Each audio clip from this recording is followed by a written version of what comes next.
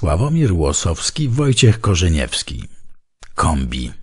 Prawdziwa historia. Fragment.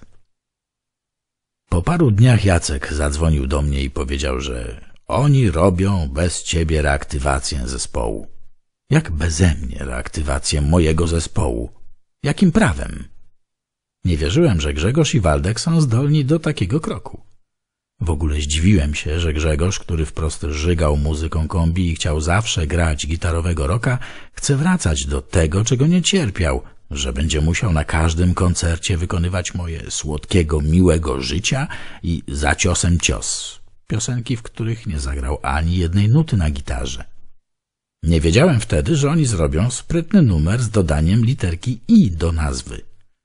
Wobec mnie i ludzi, którzy zarzuciliby im, że zawłaszczyli nazwę, mogli powiedzieć, my tylko nawiązujemy do kombi.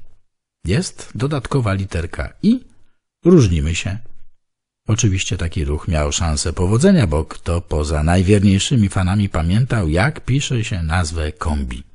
I stawiał mnie w trudnej sytuacji, bo utrudniał mi korzystanie z własnej nazwy kombi. Próbowałem ich powstrzymać. Napisałem do nich listy i wykonałem ze dwa, trzy telefony. Jacek chciał chyba też ich od tego odwieść. Był wtedy z nimi i ze mną w kontakcie. Przekazał mi, że oni chcą płacić za to, że użyją nazwy kombi i będą o tym ze mną rozmawiać. Dziwnie się czułem, że ktoś, kto odbiera mi to, co do mnie należy, markę mojego zespołu, chce negocjować ze mną warunki odszkodowania.